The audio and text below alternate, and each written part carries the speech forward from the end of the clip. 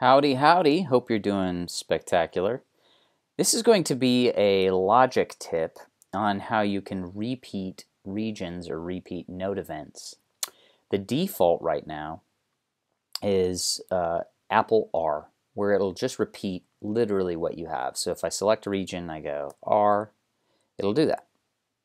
Um, it's like duplicating. Or if I select this, this group here,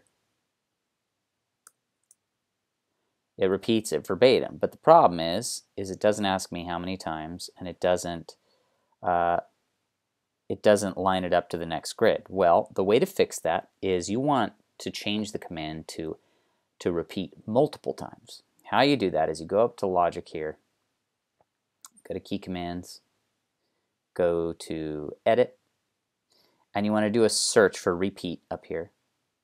And see how this is repeat regions events as alias? Well, we're going to change this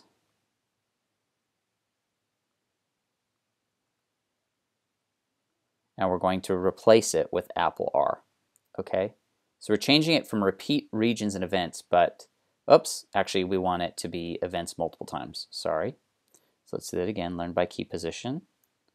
I'm going to punch in Apple R. We're going to replace it. So now, when we do this, it's going to change our dialog.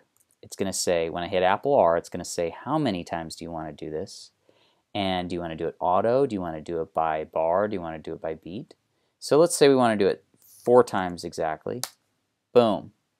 Now, that's cool. What's the big deal? Well, the reason that's better is if we select something like this, right, and we hit that, we can tell it to go exactly on the bar.